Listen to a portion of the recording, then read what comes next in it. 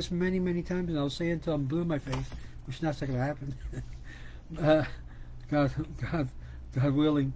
But Judaism has always been an influencing faith, a faith that basically brings others to the knowledge of the one God, and has never been prohibited in proselytizing or encouraging other people to join the faith.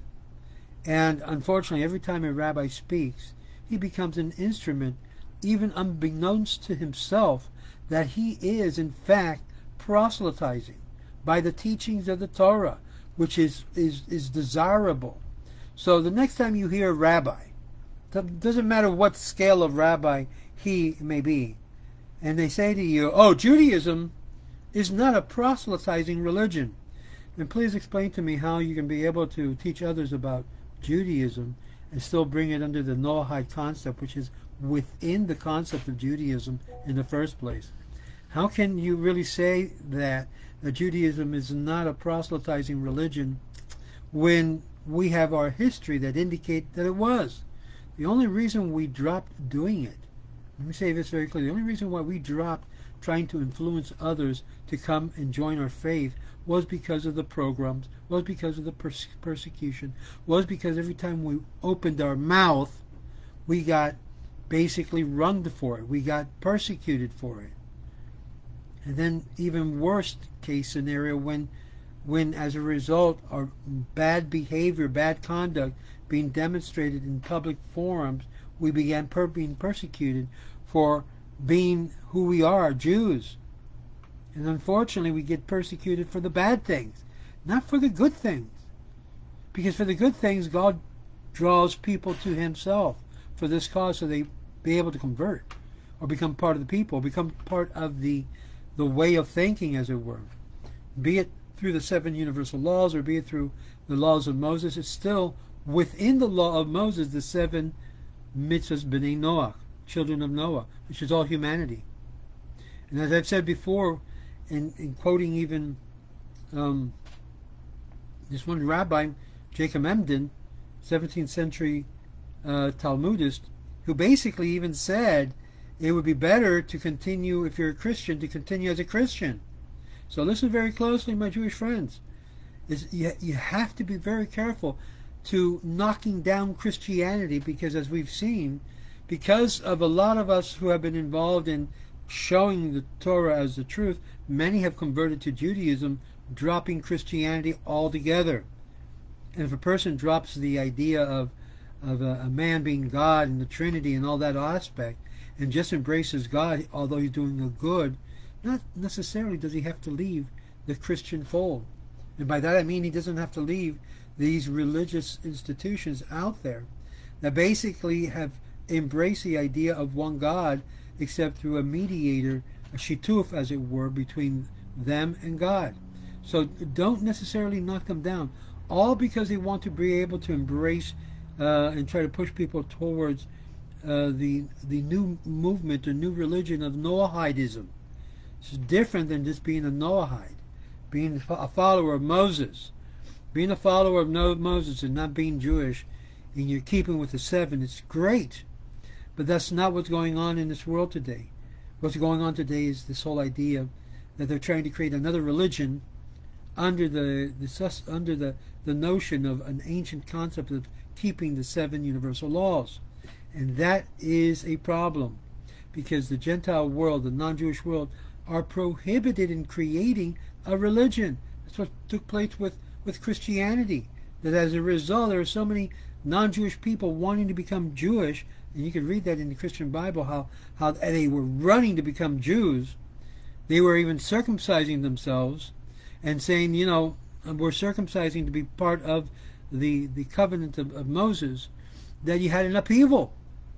First century, by the way. Those of you who don't know what was going on in the first century, it's exactly what was going on proselytizing Jews were basically converting the entire world of that time to Judaism until Christianity arose, which was a semi-Noahide concept meshed with Judaism, and you have voila Christianity. And interesting enough, they kept this whole idea of a man being God, um, which we see it's part, according to the Talmud in Sanhedrin, is part of what was called the the minut, the, the, the, the heresy of the, um, the Notrim.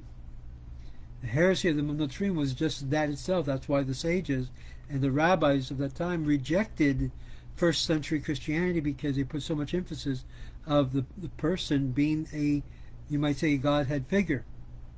And that's the reason it was rejected to this day. When you ask your typical Jew, is Christianity idolatry? And they'll say yes. Although other poskim, Tosafot and others, say not necessarily. Not for the Gentile world. And you even have arguments for that. So what's my recommendation? If you're in Christianity and you love Judaism, you embrace a lot of the Jewish concept, stay there.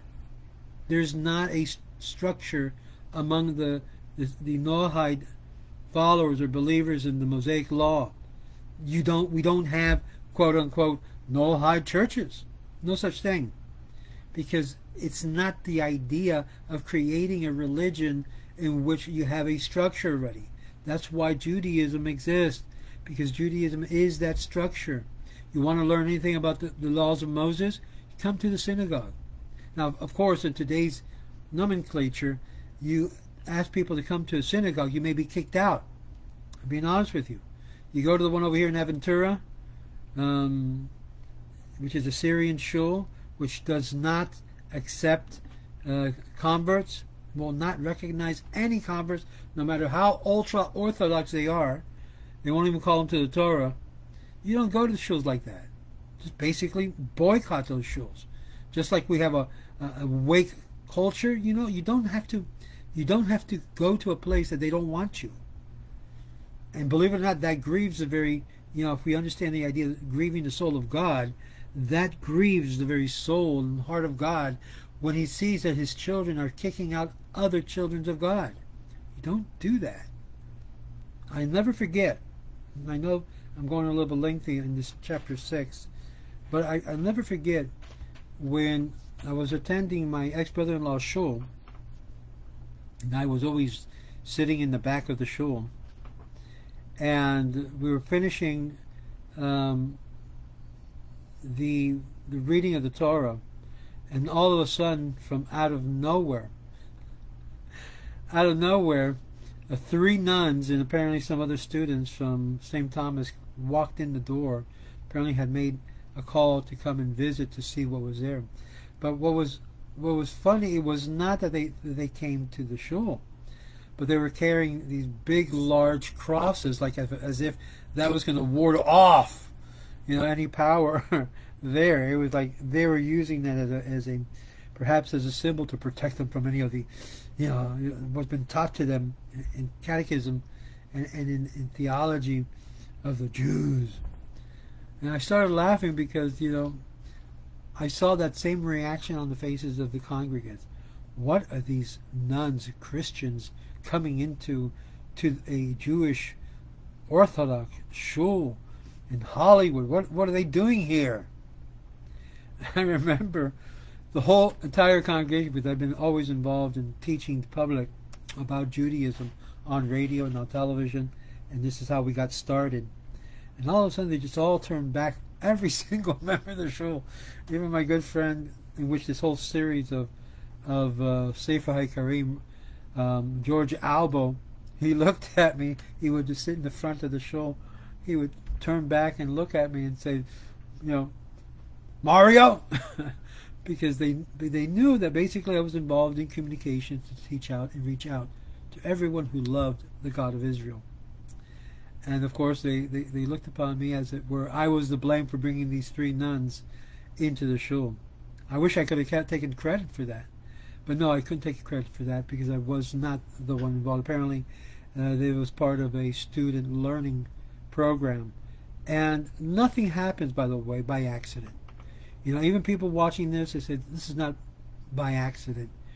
Um, nothing happens by accident, and among the three nuns, the one of the nuns that was basically the organizer of the trip happened to talk to the rabbi of the shul and said to him, Rabbi, you know, I appreciate you allowing us to come and visit your community, but the reason I was here is because what you know our student body at our school, university, wanted to know more about Judaism, but also I have a, a very, very uh, curious interest in it because my mother, uh, who was never religious, used to tell us that you know she was Jewish and she was fleeing, I think it was Germany or something like that, during the war and became Catholic.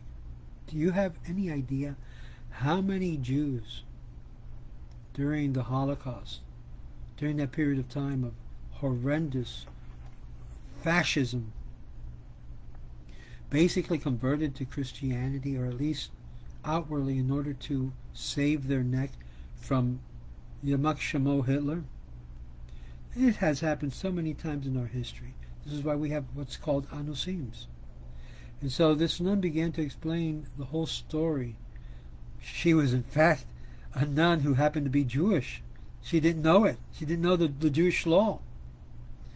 And so we had that opportunity after um, davening and after prayers on Shabbat to be able to explain to her. They sat down with me afterwards and had a good chance, a good opportunity to speak to them. What happened to them afterwards, I have no idea. I know they had made a commitment with the rabbi of the shul to come back and learn more. Hopefully, they had returned back to to Judaism, the law of Moses, to the faith of Moses. But we have I have no idea. And this also happened quite many times. We had another person who happened to be the financial director of the Archdiocese of Boca Raton. And uh, coming to my classes on Sunday morning there at the Shul of Hollywood, um, she began to ask questions. You know, my, my father, uh, my grandfather is, is wanting to go under circumcision, she would tell me. And I said to her, you know what? You need to look into your family roots. And lo and behold, the very moment I said that, she began doing research and starting to dig a little bit.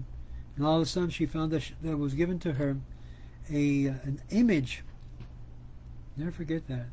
An image. She brought to the picture and everything of a Virgin Mary, you know, an idol. But this idol had something unique that most other images of of their saints don't have. This one had a crushed or broken nose, as if it was done on purpose. Not that it fell down and, and they broke the nose and they kept it as a as a heirloom. No, no, no. This one was given to them that way. And lo and behold, the story was that basically it was given during the time in which they became Catholics. They converted to Catholicism. And as a way to be able to to hide their actual true faith, this was done in order to puzzle Puzzle means to nullify the status of an idol within the house. And they had carried that and passing it down from one generation to the other. And this this lady that basically was coming to my classes on Sunday had that idol given to her. She didn't want to take it because she had finally understood what you know idolatry is all about and what we can't do. But when she showed me the picture, I go, "That's an idol that was puzzled, was completely you know, devoid of as an idol now. You can possess it, pre preferably not, but you can with no problem according to Jewish law. And as she began to learn, she began to delve more and more. She tried to ask her mother, Mom, tell me more about our family history. Gave a little bit more information. It came down that her grandfather had this urge all of a sudden to get circumcised because if not, he would go to hell. And I said, ask him point blank. Ask your grandfather point blank. You know, where did he get this idea from? And then apparently the grandfather told him, We're Jewish. I know your mom didn't want you to know this, but you know, the whole family is Jewish. We came out of Europe running away from Nazi Germany. Oh, and I said to myself, Baruch Hashem. Thank God. God is good. And as a result, um, she went through a process of, of conversion. Very, very studious person. I don't know where and what she's doing. I know she went through conversion through a, a bet din that put her through literal Gehenna, you know, studying three years, four years. I said, this is not right. You don't treat a person that way. putting them in such a, a, a, a and this is why I've seen how the abuse takes place when a person goes through a process of conversion. Technically speaking, she didn't have to convert. I said this her, you don't have to convert. Your mother's Jewish, your mother's mother is Jewish. You don't have to convert. And then insisted, because you know, if you don't convert, you're not, they can't switch you over to a different custom. So she went through the conversion process. I don't know if she got married. I don't know any of that. She was married to a, a very wealthy Catholic person, and they got divorced or got I don't know what happened there. But bottom line is, she made a choice to return back to the faith of her fathers. Notice why I say her will, her choice, was that she wanted to reconnect with her people. And may God bless every single person who goes through that struggle and reconnecting back to their forefathers who happen to be of Jewish ascent. It's not easy, my friends. And then you get labeled by the Jewish, oh, you're a convert. Like you're something dirty, you know. You know, so you wonder why the abuse takes place and why so many things is happening to the community of Israel as a result of so much mistreatment of the converts and of the those who are returning back when we should embrace them all. We don't have a right to do what they think is, is justifiable. Oh, well, we're rejecting them just like Naomi rejected Ruth three times. No, they've gone beyond the three times. I've seen abuse that you would not want to be a part of. You would say, you know what? If this is what being a Jew is, take it, and you know what? Put it up where it never shines. Point blank. It's ugly. It's it's completely horrendous. Instead, there should be joy, simcha with the, the community when a person embraces a faith that basically, number one, is hard to live by, but one is joyful, and what's one that God Himself brings a person to Himself so that he can be part of the community of what's called Klal Israel, and then get mistreated. This is why God doesn't smile happily when our communities treat the person who's going through a conversion process that way. He's not happy with that. And then, lo and behold, things negative befalls the community, and you wonder why. We are in the three weeks, which reminds us very clearly of the reason why our temple was destroyed. And we're told over and over and over again, sinat hinam, which is unwarranted hatred. It was not respecting one another, was not loving one another, was not caring for one another. It was also involving the same evil thing of of actually seeking converts and then making them twice the son of devils. They were worse situation when they came in. And yet, you cannot deny, no rabbi can deny the great statue that Onkelos, a convert who happened to be uh, descendants of Romans, of Caesar, and yet became one of the most incredible illuminaries of the Jewish people that till this day we read his commentary in Aramaic. And then you say, and you have that attitude, of chutzpah, to mistreat those who converted? No, and that's not the, the, the worst part. The worst part is when they only recognize those that the legal system up there in Israel recognizes. I mean legal system, I'm talking about the Rabbanut. Most of you know my position. I think they should disband the Rabbanut and let every community, whether Orthodox or non-Orthodox, be able to do their own giurs. And that Israel's position as a secular state accept all of those who've embraced Judaism in whatever levels. There's been more damage, more harm done by the Rabbanut office than anything else. It's not that I hate the Rabbanut. I've just seen actions, conducts, which is demonstrating the lack of love towards the convert. There may be issues. But those issues are addressed quietly, individually, and not as a policy that basically prohibits all kinds of conversion. And this is what we're dealing with when you deal with issues of conversions. Many, many, many, many, many times I have wanted to get out of people asking me to go through conversion. You know, help me. I want to be a Jew. And really, I've pushed a couple of people off to um, the only Bet Din that's recognized now here in, in Florida, uh, which is Rabbi Efrem Goldberg in Boca Raton. I've, I've sent them already about two or three people because I want to push off, push off that. Not that I really care whether the Rabbanut accepts what we're doing or not. It's the heart of the person that's coming in that's important. It is their commitment to keeping Torah which is important. It is when three observant Jews,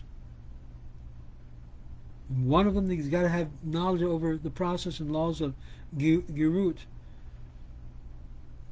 examines and sees the, the intentions are honest to accept them and be witnesses to their acceptance of the yoke of Torah, both written and oral. I remember one case, not too long ago, one of them began to say, yeah, I accept the, the, the yoke of Torah, both written and oral, and then came back right afterwards saying, no, I don't accept the oral Torah so that your conversion has been invalidated by what you have said. Because the whole basis of the Giur is to the acceptance of the Torah, both written and oral. And you rejected part of it. So you basically invalidated your own conversion. Right the same day. This didn't happen like a, you know a few days afterwards. Same day. And I said to him, you know what? Here is your Tudah.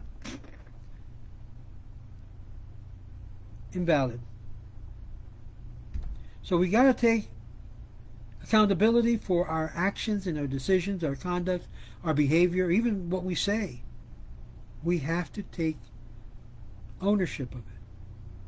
When we do so, we become better people, become a people, a holy people in all of our endeavors. May God bless you and yours, and may God shine his light upon you, and may God show grace upon Klal Israel as well that in when Klal Israel walks in the ways of the Lord, that he would bring the other people that still are waiting to be part of his people and part of the children of God into his fold. May God bless you and all. And remember, be part of the ways of Israel. Very simple. Download the application, fill it out, send it to me, and we'll send you out a membership card that says Ways of Israel, members of the, of the Ways of Israel. Shalom, shalom. Have a wonderful week. Good tavok, as they say in Yiddish. I'm not Yiddish, Sephardi. Que tenga una buena semana. Good week. Shalom.